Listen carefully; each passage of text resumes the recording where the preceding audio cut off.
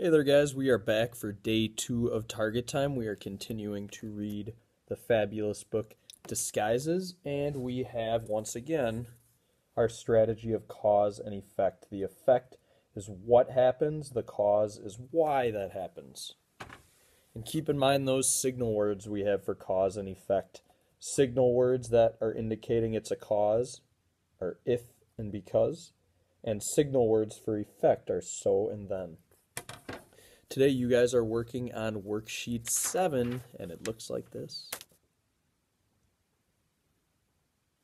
Up on top you need to fill in the missing causes up here and the missing effects, whichever one it is. So up here we can see that this cause has two different effects. You need to fill those in.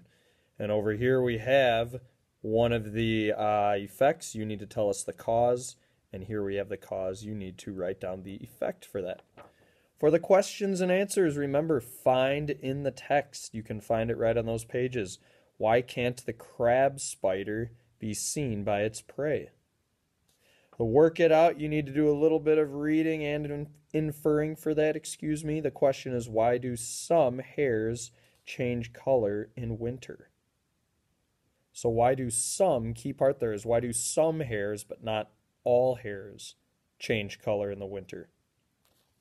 And for the judge for yourself, it is your opinion, but I want you to discuss it. How could you disguise yourself? You need to tell me not only what you would disguise yourself, how you would disguise yourself, but where would you be that you are choosing those things to disguise yourself? All right, work together, find those answers, do a good job. Happy reading.